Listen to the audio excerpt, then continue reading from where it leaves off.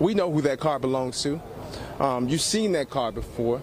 Uh, you can see that Memphis police are going in and out of Makeda's right now. We see homicide detectives. We see uh, felony response on the scene. I don't know if you can hear it, but Southgate, pan down, pan down. You can see people are just hit with emotion here on this scene.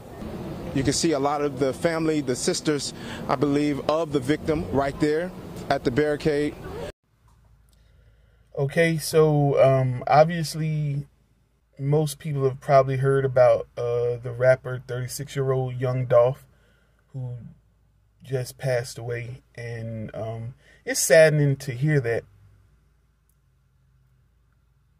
One thing that we can all learn from these types of situations is that we never know when our last moment will be. So then it pays for us to know Jesus. It pays for us to be ready when our number is called because you don't get a second chance. You don't get a redo.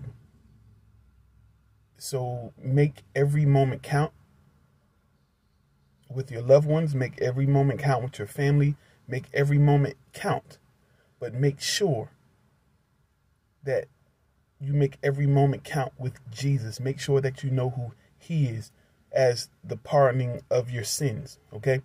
that is the most important thing that I can give to anybody is that you must know Jesus. You must know him for his work, what he has done on the cross for you, and for who he is.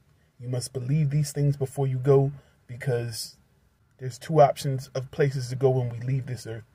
And we want to make sure we go to the place that is free of pain, free of suffering, free of tears only happiness and bliss forever, that's the place we want to go to. So um, we want to send prayers to his family and to the fans, and hopefully people start to understand how valuable life is. Pray for people. Pray that God draws people to Christ out of this thing. All right. See y'all.